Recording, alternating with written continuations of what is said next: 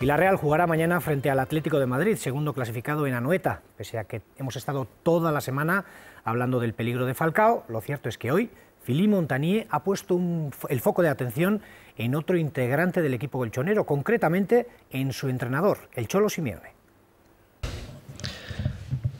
Hacer todo casi perfecto porque es un gran equipo, un para mí un de mejores equipos de Europa quizás el equipo de Europa que tiene la mejor forma.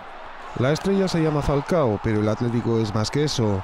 El mejor del equipo eh, está Falcao, pero quizás eh, es uh, Simone, porque ha transformado su equipo de una manera increíble. La Real deberá rozar la perfección, pero adelantarse en el marcador puede ser vital. Sobre todo contra el Atlético de Madrid, si el Atlético de Madrid uh, empieza a marcar el primer gol, es muy difícil después.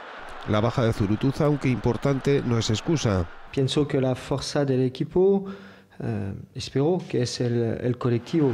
Otros deberán asumir la responsabilidad, entre ellos Griezmann, que tratará de apagar el incendio provocado por su salida nocturna en Francia. De intentar de compensar su grave error por un, con un comportamiento uh, uh, bueno con la Real Sociedad.